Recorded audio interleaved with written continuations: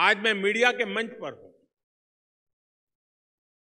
सवाल आपको बहुत प्रिय होते हैं, और इसलिए मैं भी कुछ सवालों के साथ अपनी बात की शुरुआत करूँगा। कहते जैसा संग वैसा रंग।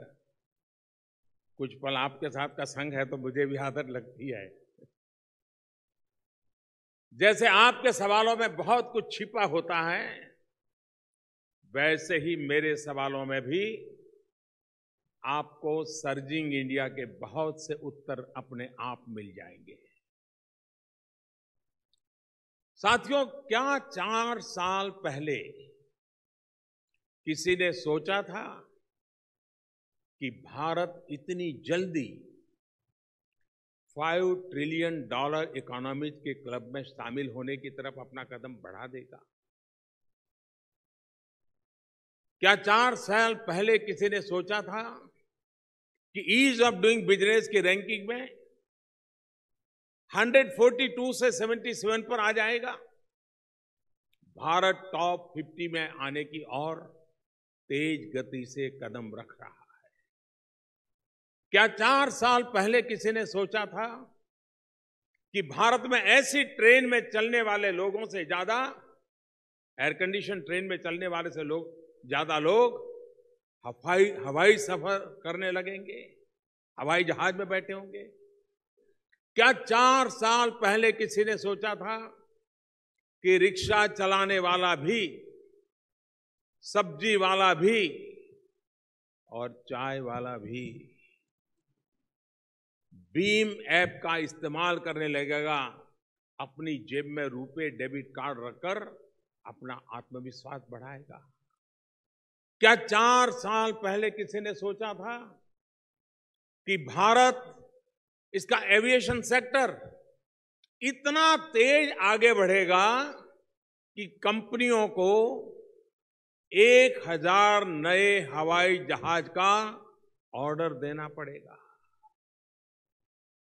और आपको जानकर क्या हैरानी होगी, हमारे देश में आज़ादी से अब तक कुल साढ़े चार सौ फोर हंड्रेड एंड फिफ्टी हवाई जहाज़ ऑपरेशनल है, प्राइवेट हो, पब्लिक हो, सरकारी हो, कुछ भी हो।